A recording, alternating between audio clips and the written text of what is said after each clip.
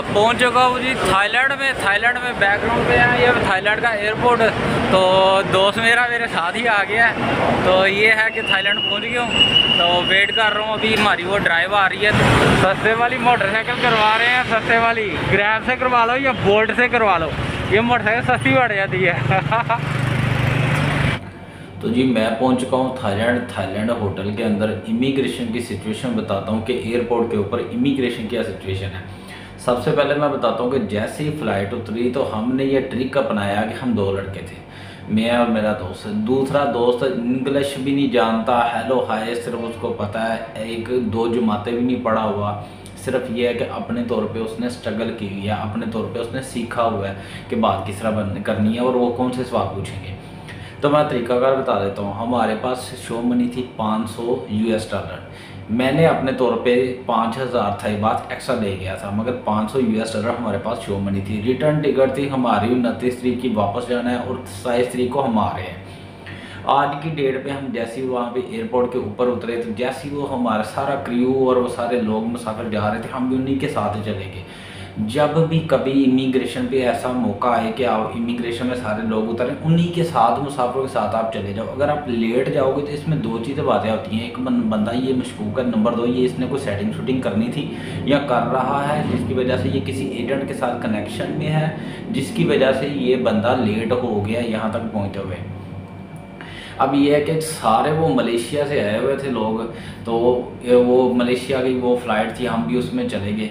अब थाईलैंड, अब मैं ये बता रहा हूँ कि ये जो सिचुएशन मैं आपको बताने लगा चाहे आप इंडिया से आओ पाकिस्तान से आओ बांग्लादेश से आओ नेपाल से आओ सब की सेम सिचुएशन है, मैं जब बता, जो आपको बताने लगा हूँ, सबके साथ ही ऐसा हो रहा है। ये नहीं कि मैं मलेशिया से आया हूँ तो मेरे साथ ऐसा हुआ सबके साथ ऐसा है।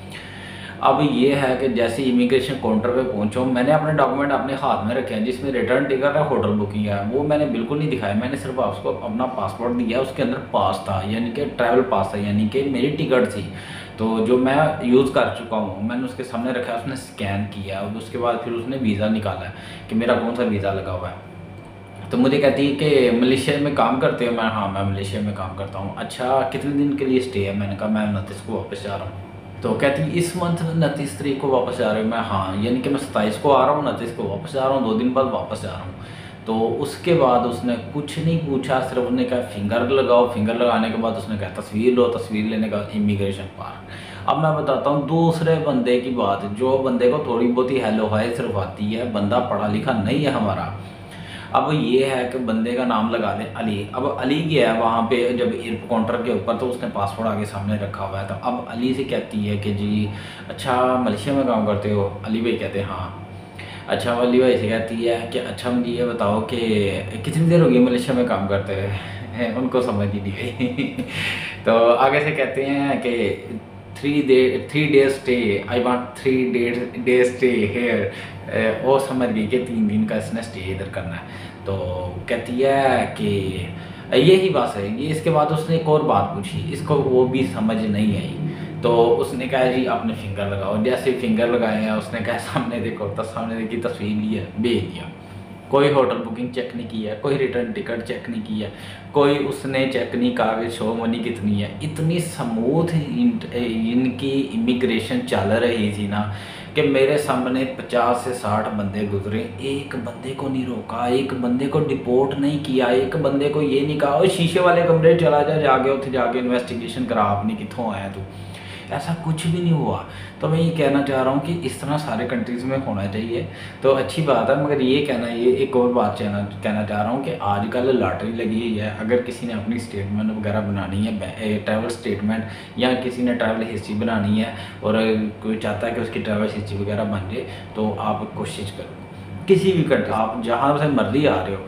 एक बात यह है कि अपनी चीज़ें ये सारी ले आओ। बीस हज़ार था ये बात आपके पास शो मनी होनी चाहिए। अगर नहीं ला सकते तो पाँच सौ यू डॉलर होने चाहिए। और अगर आपका स्टेक पाँच, सात, दस दिन है तो फिर पाँच सौ यू डॉलर नहीं, ज़्यादा यूएस डॉलर लानी है।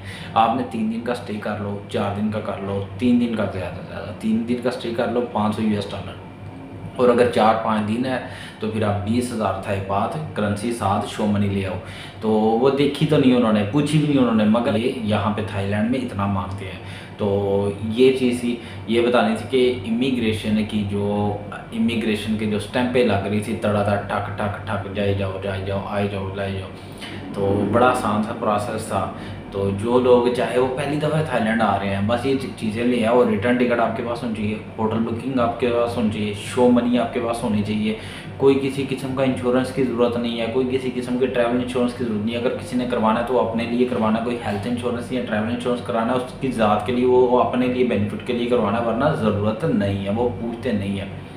ये चीज़ें बस ले आओ, आपको एंट्री मिल जाएगी अगर किसी बंदे का ये है कि जी मैं यहाँ से आगे मलेशिया जाऊँगा तो इसलिए मुझे मैंने बाय रोड जाना है तो मैं आपको ये बता दूँ कि मलेशिया से बाय रोड मलेशिया जाने के लिए बाय रोड प्रॉब्लम्स आ रहे हैं। बहुत सारे हमारे दोस्त वापस चले गए हैं, उन्होंने वापस भेज दिया हुआ है। तो यही मैं कहूँगा कि ये मत हो, आप सोचो, अगर आपने जाना है, वहाँ से बाय रोड भी जाना है तो आपके पास रिटर्न टिकट होनी चाहिए। मलेशिया की, थाईलैंड से मलेशिया बाय रोड जाने की रिटर्न टिकट होनी चाहिए। अगला बंदा मुतमिन हो जाता है, यार, हमारी कंट्री आया ये स्टे करने के लिए नहीं आया। इसने परमानेंटली यहाँ पर रोक नहीं जाना स्लिप नहीं हो जाना, इसने यहाँ से आगे चल जाना। तो ये थी छोटी सी अपडेट आपको देनी थी कि आज थाईलैंड आया हूँ मैं। तो कल ये है कि मेरा कहीं और का प्रोग्राम है, मगर आज के लिए ये बताना था कि इमिग्रेशन लास्ट टाइम मेरे साथ हुआ था, कुछ मिसहैप हुआ था, जब मैं बाय रोड आया था, मैंने सबको बताया था।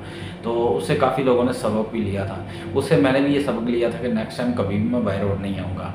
तो इस दफ़ा मैं फ्लाई करके आया हूँ। जितना बाय रोड पर एक्स्ट्रा आप पैसे आपने दे देने हैं ना, वही आप टिकट खरीद लो। उतने बल्कि उससे सस्ती टिकट पड़ जाती है यार।